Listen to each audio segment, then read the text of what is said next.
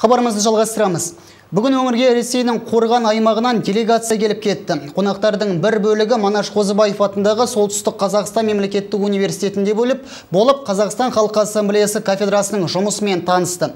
Ал көрші елдің белгілі қылқалам шебері Ольга Луцко облыстық бейнелеу өнері музейінде шеберлік сағатын ұйымдастырды.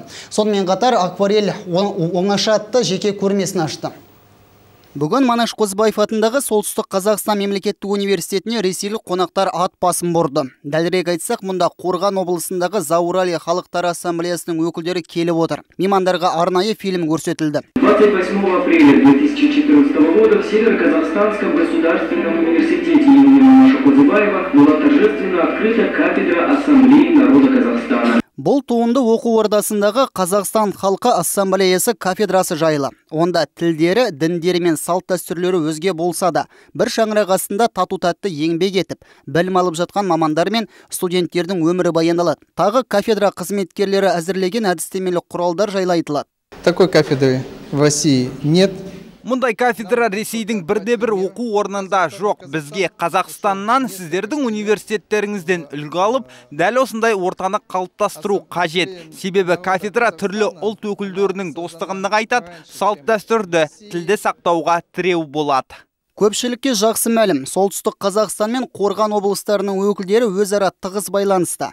Қос өңірдің білім, өнер қызметкерлері жиі кездесіп, бірлесе түрлі іс-шаралар ұйымдастырады. Жерлестеріміз бұл әріптестікті одан әрі дамытпақ ниетте. Хотелось бы, чтобы были какие-то совместные проекты. Келешекте қос өңірдің білім саласының қызметкерлері, тарихшылары бірлескен жобаны қолға алса дейміз. Бағдарламаның қандай тақырыпта болатыны белгісіз, бірақ мен өз басым жүргізілетін жұмыс аймақты зерттеуге арналғандығын қалаймын. Өйткені қос тарап маңызды құжаттармен алмаса отыра тарихтың түкпірінде қалған деректерді таба алатындығына сенімдімін. Сонымен қатар, бүгін қорғандық суретші Ольга Луцко облыстық бейнелеу өнері музейінде терескелік жастарға арнап шеберлік сағатын өткізді. Онда мейман акварельмен Италиядағы орта ғасырлық үйлерді салып, істің қыр-сырын үйретті. Талант иесі қаламызға осымен екінші рет келіп отыр екен. Я была в юности. Мұнда жас күнімде болдым, міне енді екінші мәрте келіп отырмын. Жақында Италияда болып бірнеше сурет салған едім. Сол туындыларды Петропавлда қайтадан қағаз бетіне түсірдім.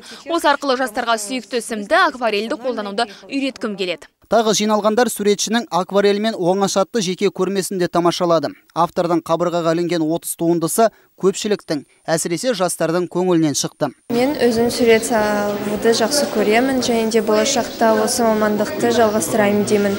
Мен осы осы кісіден үйренем және де осы кісі сияқты ә, суретші болғым келеді. Мне очень понравилась выставка и мастер. Маған көрме ұнады, картиналар керемет, барлығы сол жердегі оқиғаны, атмосфераны көрсетіп тұр. Айта кетейік, Ольга Луцконың суреттері көрмесі Петропавлда бір айға жалғасады. Қорғандықтардың өңірге сапары достық үйінде қорытындыланды. Ресейлік делегация мүшелері солтүстік қазақстандықтар тарапынан көрсетілген қонақжайлыққа ризашылықтарын білдірді. Және алдағы уақытта шекаралас жатқан екі өңірдің арасындағы ынтымақтастықты одан әрі нығайтуға ат салысатындықтарын жеткізді. Байболат Бектемірлы, Ақтолқын Сұлтанханқызы, Әділ Нұржанов, Рустам Тілеужанов, муниципалдық телеарна.